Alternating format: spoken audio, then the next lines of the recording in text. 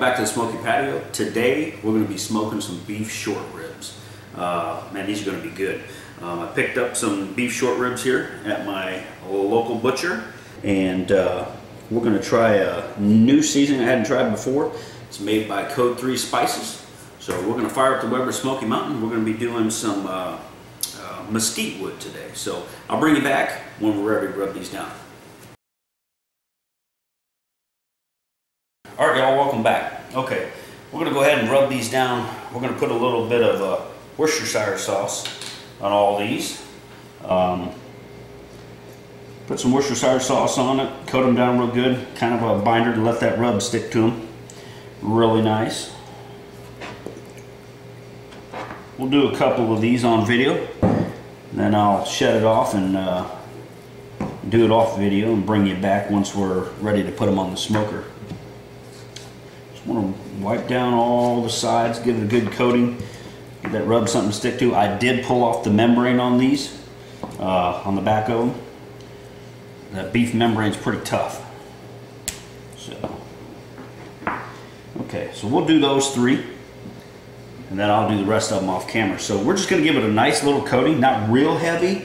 Um, that beef's gonna have a lot of flavor with that mesquite wood on it, so we're just gonna do a nice light coating all the way around.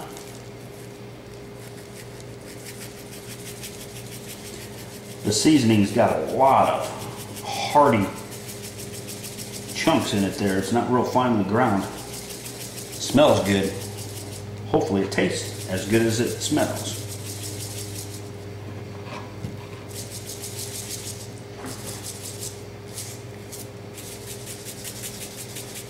Just to give them a nice liberal coating there.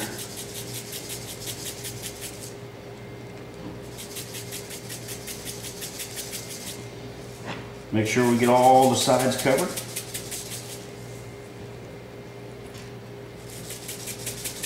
We're going to go ahead and do the back, even though there's not really all the meats on the front. We're going to go ahead and do the backs. Each side.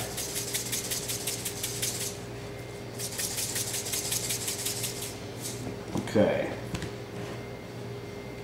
All right. All right. I'm going to go ahead and do the rest of these off camera. I'll bring you back once they're all done and uh, got the smoker up to temp. Be back in a bit. All right, y'all. We're to go ahead and dump this chimney of charcoals in the lump charcoal that I'm to be using today. The lump hardwood. I'm to be using lump hardwood, but this is to start it up. So we'll go ahead and get that in there. and dump it right in the middle.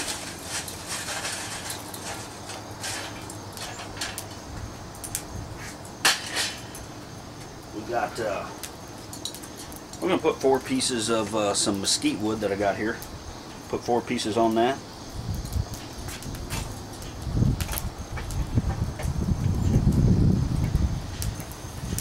Go ahead and put this thing together, let it come up to temperature, and then we'll bring you back once we put those beef short ribs on here.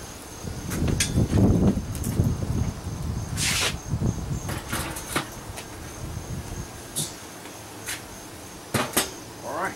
Alright, we're going to be cooking at 250 degrees today. We're using some mesquite wood. We're going to be spritzing them down uh, probably after about two hours into the cook. Uh, we're going to be using a mixture of apple cider vinegar and apple juice. So bring it back once we throw these things on here. Alright y'all, we got these uh, short ribs rubbed down.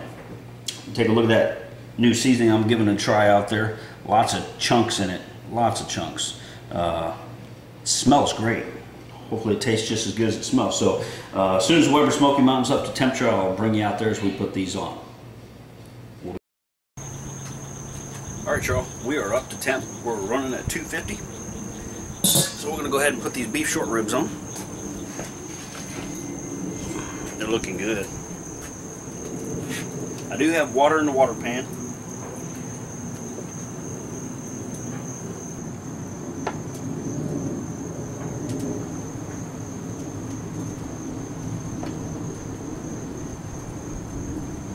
Should be able to get all these on this top rack. maneuver them around a little bit.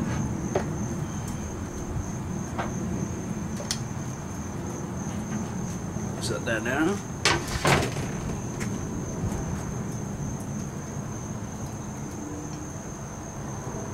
Oh yeah. Okay. We're going to cover those up and let them smoke. Okay, we'll let smoker do its job. We'll come back to you in about two hours or so. We'll check on them. That'll probably be the time I start spritzing them. Um, I don't know yet if we're going to wrap them. I think we're just going to leave them naked the whole cook and, and just let it go, just like a brisket. Just, just uh, let it get a nice bark on it. So we'll come back to you in about two hours. Okay. Oh yeah, we're looking really good.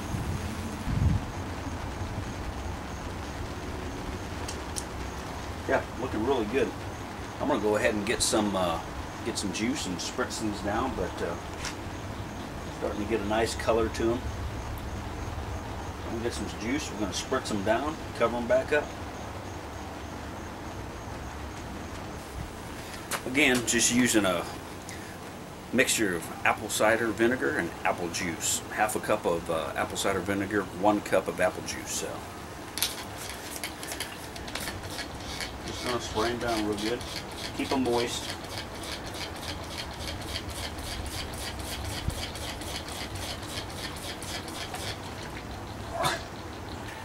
Cover them up. We'll let those go for another 30 minutes. We'll bring them back, spritz it again. Alright guys, we're going to go ahead and take a look at these. It's been about another hour, so we're about three hours into the cook. Um, I'm going to take the temperature on these, see where we're at.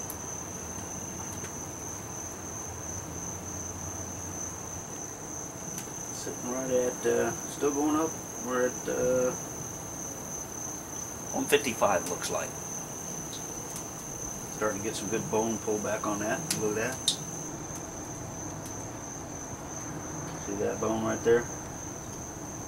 Meat starting to pull back pretty good.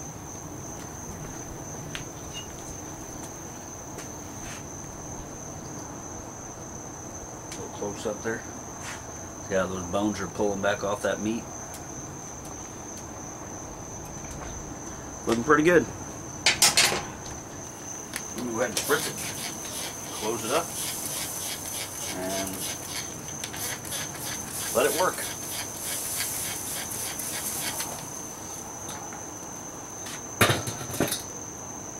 Come back in about 30 minutes.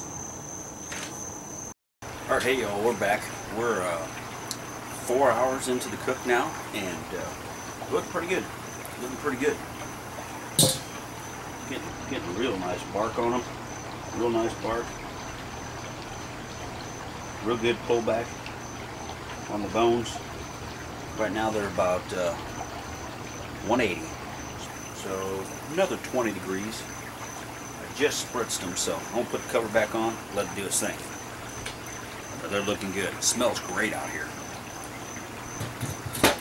Come back to you in a little bit.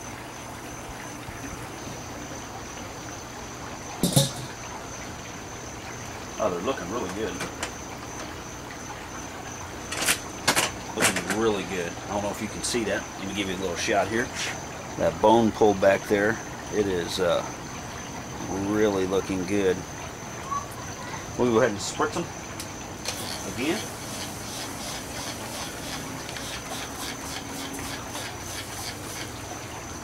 Cover them up. Let them do their thing.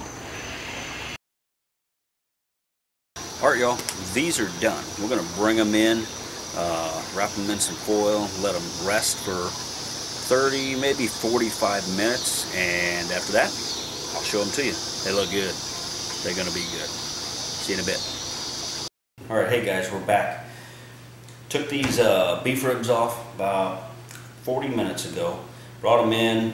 They've been resting on the stove now, wrapped in foil, and uh, man, I'm happy with these take a look at these. Just look at, man, they're so tender. Literally just peeling away from the bone. Very, very pleased with them. Look at all the juice. Still very, very juicy. Go ahead and take a bite here. Look at that, just, just falling apart. Go ahead and give that a bite. Go ahead and give that a try.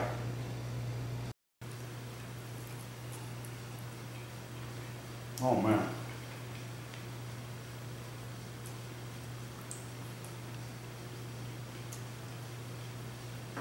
Mm, that's good. And it's so juicy.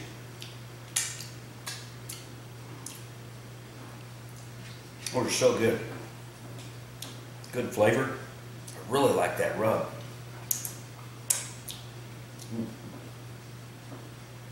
That's good stuff, folks. Hey, we're gonna go ahead and eat dinner now. So, you know, give that give that uh, Code Three Spices. That's the, the rub that I use today. Code Three Spices. It's a local company. Uh, they use a portion of their uh, all the money that comes in from the sale of each bottle. Some of it goes to uh, first responders. So,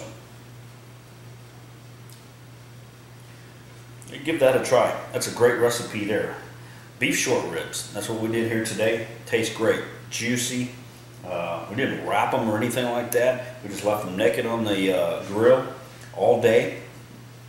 Took five hours for them to get done. Um, spritzed them after two hours. We spritzed them about every 30 minutes. So, uh, man, they're good. I'm gonna go ahead and plate these up. Got some corn on the cob, some potatoes to go with these. I'll bring you a plate back and show you once we're done, but these are good ones. I have to have some more.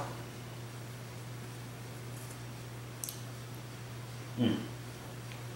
Good. All right, y'all. Wanted to bring back and talk to you a little bit about that Code 3 spices that we use today.